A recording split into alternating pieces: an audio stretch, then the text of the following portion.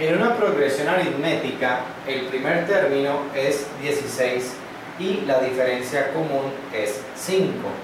¿Cuál es el valor del decimoséptimo término? Bien, en este problema tenemos la siguiente información. El primer término de la progresión aritmética es 16. Entonces tenemos a sub 1 igual a 16. Nos dicen que la diferencia común vale 5.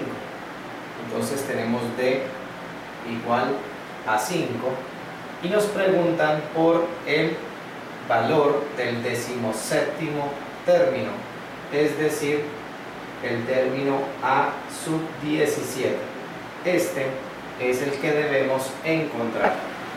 Para ello debemos utilizar la fórmula que nos permite encontrar el término enésimo en una progresión o sucesión aritmética, que es esta que tenemos escrita.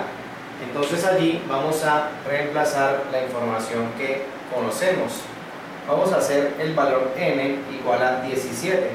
Entonces tendríamos a sub 17 es igual a a sub 1, el primer término de la progresión, que es 16, más n, que vale 17, menos 1, y esto multiplicado por la diferencia común, que vale 5.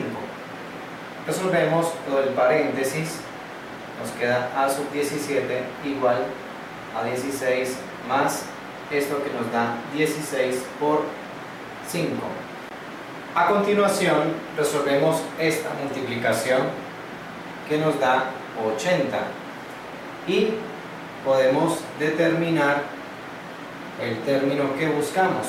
Sumamos 16 más 80 y nos da 96. Esta será entonces la respuesta a la pregunta. El valor del decimoséptimo término de esa progresión aritmética es 96.